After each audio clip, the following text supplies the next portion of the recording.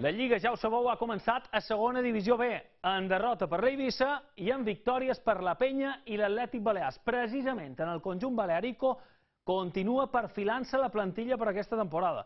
El futbolista que estava a prova aquesta darrera setmana, Jordan Holsgrove, quedarà al conjunt blanc i blau després de conversa al tècnic Mànix Mandiola. El migcampista escocès, de 19 anys, estarà cedit a l'equip balearico fins al juny del 2020 per part del Reading anglès.